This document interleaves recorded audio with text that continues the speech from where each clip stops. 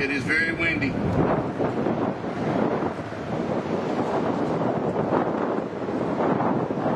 Very windy.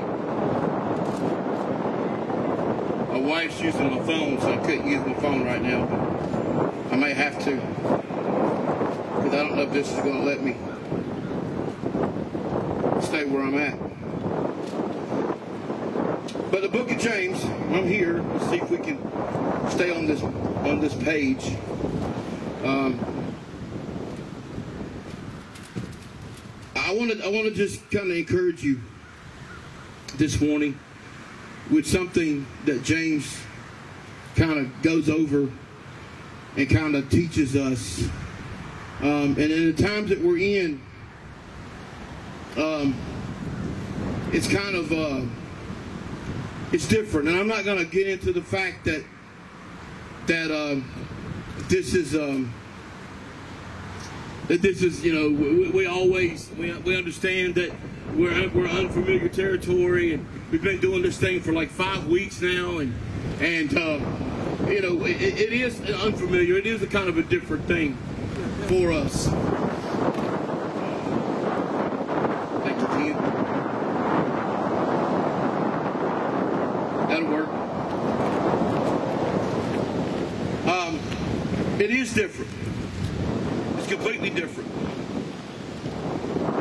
But I want to give you some encouragement this morning. Despite how things look, and we don't know what tomorrow looks like, we don't know what, you know, we, we know that our governor opened up phase one and businesses get open Friday and then tomorrow, and we don't know what the rest of the week's going to be like. We don't know what it's going to look like in phase two. We don't know what, what's going to happen. So, but I want to read something to you out of James chapter 1, beginning at verse 2. And he says, My brothers, count it all joy when you fall into diverse temptations, or the King James says, when you face many trials. Consider it all joy. Count it all joy when you when you have a bad situation. Count it all joy when you have a difficult place. Count it all joy when things don't look as good as they did. Count it all joy when things kind of look bleak or look kind of different. And we're in a place right now that fits all of that. Things look different. Things are different. Things are run different. You know, everybody, I keep everybody say, uh, I can't wait to get back to normal. What's normal going to look like? Normal's changed for us. It has changed. But James is saying here, count it all joy. What does that word joy mean? What is that? What is joy?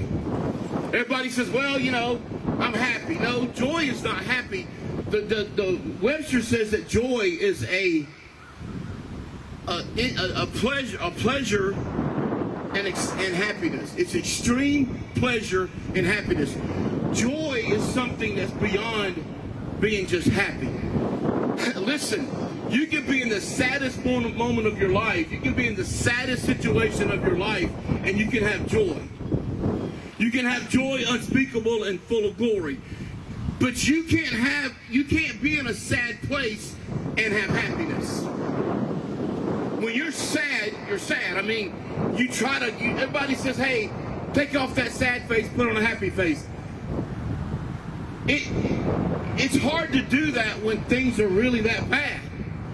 But even in the sadness, even in that midnight time, even in that most difficult time, you can have joy and you can have full joy. Romans chapter 14, verse 17 says that the kingdom of God is, is not meat and eat and drinking, it's righteousness, joy, and peace in the Holy Spirit.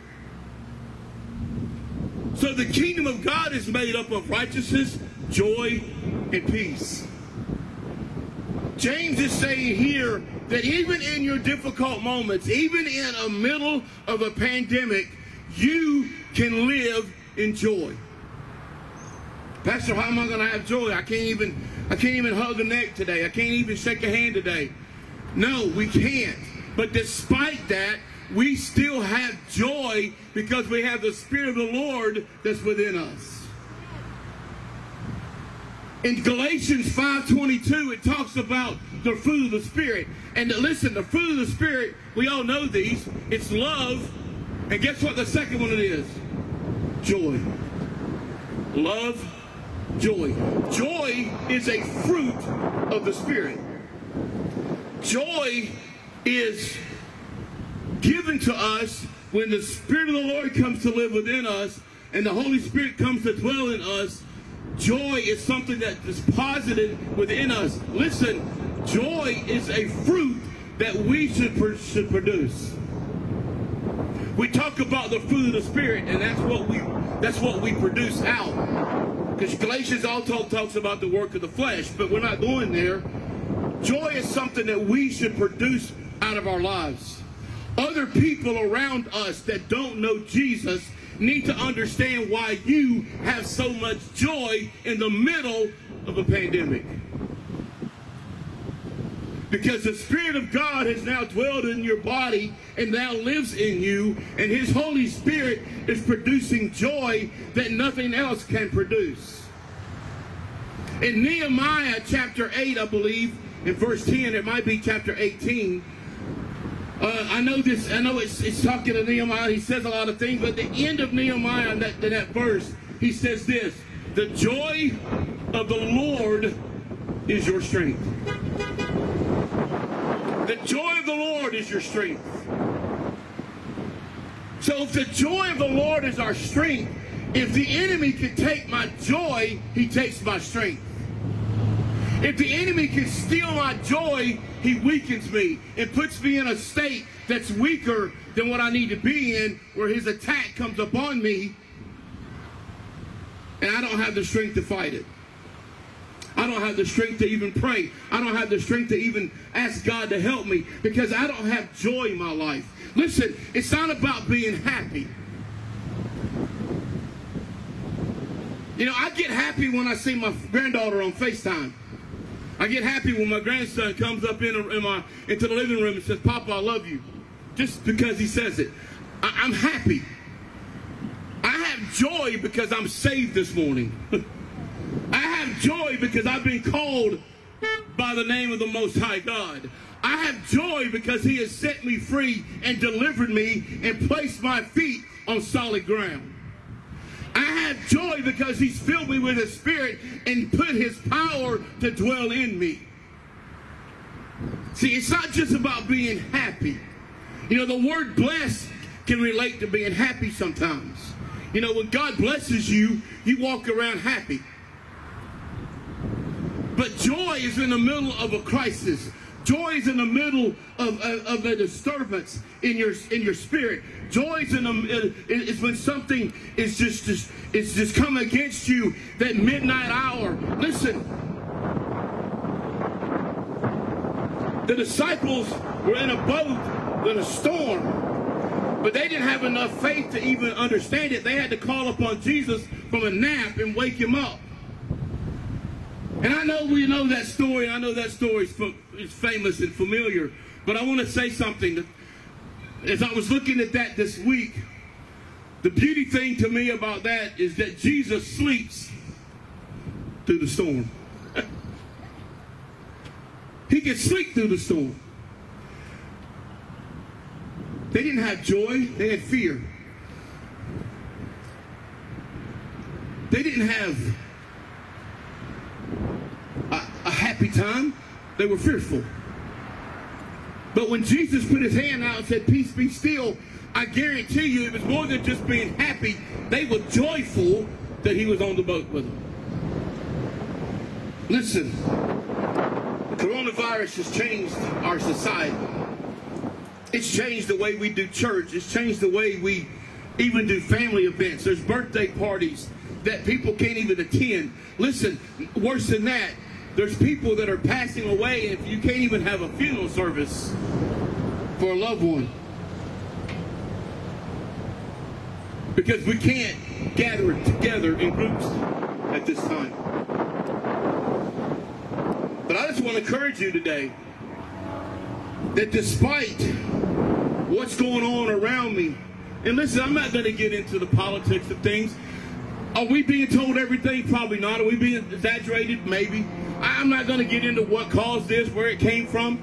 Oh, people are saying this is a, sign of the end times. I, am not going to say yay or nay. I'm going to say that it doesn't matter to me what it is. My God's in control, and it's going to do, it's going to accomplish what He wants it to accomplish in my life, in our church's life.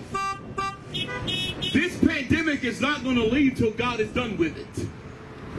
We got to understand that. Yeah, we need to pray for it to go, but we need to understand also that, listen, God didn't bring it here. God didn't bring it on us. But God is using it to wake up the church, to tell the church it's not about you anymore, it's about me still. So I can have joy. I can I can go to bed at night and go to sleep and have joy in my heart. I may be saddened because of what's going on. It hurts that I can't talk to you face to face, that I can't hug your neck and embrace you. It's killing me right now. Even my own sister said, Can I get a hug? I said, No, because we ain't been in the same household. It's ridiculous. I understand it. But it's what they're, it's what they're recommending. Well, Pastor, don't you have faith? Yes, I have faith. But I also need to use wisdom. But I also have joy. Listen, he also says this. After he says that you count it all joy when you face many trials, knowing that trying of your faith develops patience. So through this pandemic, God has also increased our patience. Amen? Anybody? Is he still working on you? I think so. So it's through our faith it develops patience. But let patience perfect perfect its work, that you may be perfect and complete, lacking nothing. That's the word of God. Let this thing finish what it's got to do in your life. Let God complete what He's doing in your life through this pandemic. Don't get impatient with it. Trust God. Pray that it goes away. Absolutely. Please pray that it goes away.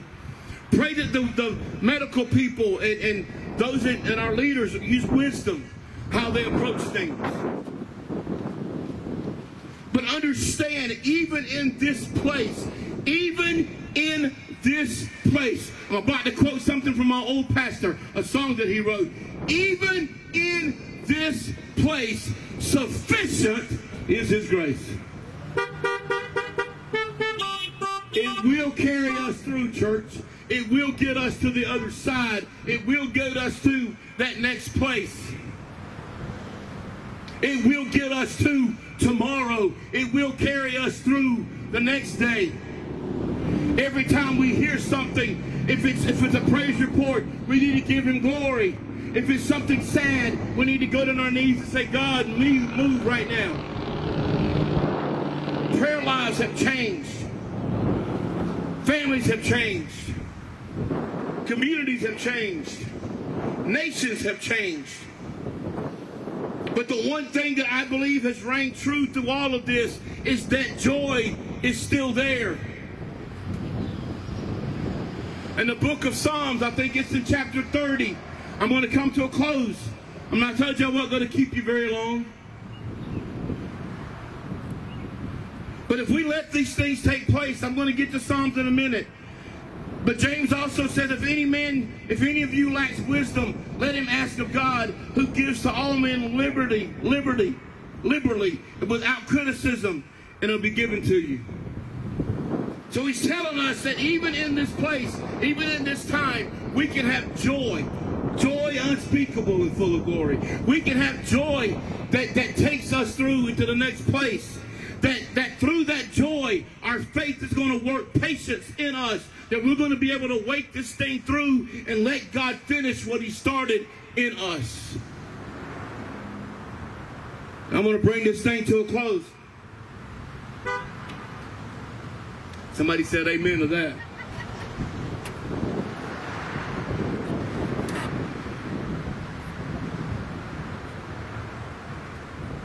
I've never experienced anything like this. None of, none of us have. I did find out through looking at social media and, and other other areas, I've heard that I think they said 80,000, I think it was 80,000, I may be wrong on my numbers, churches are doing live stream message services that's never done them before. Yeah, yeah. Hey, listen, there's one church that said they're getting about 11,000 views every Sunday. 11,000 people. Listen, the gospel's going out. The word of God's being preached.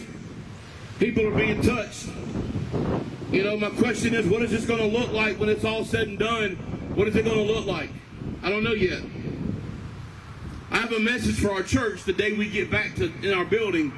Um, I'm gonna give you the title now, and it's not it's not a pun on on what's happening. The, the title of my message when we get back is "Return to Church," and it's not about returning to this building. It's about returning to the true church.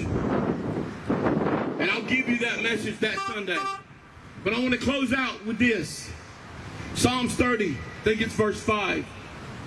I'm not going to quote all of it, I'm going to quote parts of it. It says this Though tears or sorrow or sadness may come through the night, but joy comes in the morning.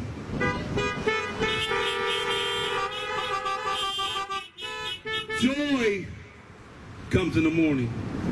Not happiness, not feel good, joy.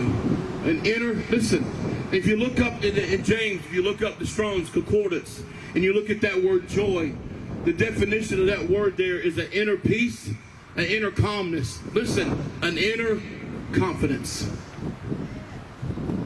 That's strong, church. That's strong. That even through this, we can have confidence. Why? Because our hope is in Jesus and Him alone. I wanted to read some of that to you from a different translation, and, and I may I may try. If you have the Bible app on your phone, look at the the um, what is it called, Deb? The Passion translation, and look at James. Read what it says in there. It's, it's a it's powerful. The message has a powerful quote for that for that text as well. So read those. If you have the Bible app, read those. The Passion and the Message translation of James uh, 1 2. And, look at it, it, it expounds on it even greater. But I just want you to understand this morning, church. I hear people say that, well, you know, we haven't reached the peak. Some say, well, we've reached the peak. Some say that this this winter may be another, a, a, another course of this thing, and it could be even deadlier than this one. You know what? Let them predict what they want to predict. My God is in control. My God's on the throne. And you know what? According to His Word, joy is going to come in the morning. Amen. Amen. Father, we thank you this morning. Lord, I, I know that we have brought people here, and I know things have been cut short today, and it's not that we cut it short. We just we worshiped, we entered into your presence. You met us here. I feel you here right now. Your word has went forth to encourage us that we can have joy. That our joy will be in the morning. That the joy of the Lord is our strength that even through this pandemic, even through the situation that we're in, we can count it all joy because you're doing a work within us to perfect our patience, to increase our faith. And Father, I look around this morning and I see lives here that are serving you. But I'm going to reach out to those that may be out there on live stream this morning that don't know you. Maybe right now they don't have joy. They don't understand how I can have joy. I reach out to them and I ask you this morning if you're in a place out there that's on social media, and if you're watching this or you're watching it with somebody or through a watch party, or however how you're watching it, or maybe you're going to watch it later, I ask you this if you don't have joy this morning in your heart, it's because Jesus is not reigning in your life. And you can fix that. I do this every time I close with these live stream messages because I feel this is the way we need to reach out.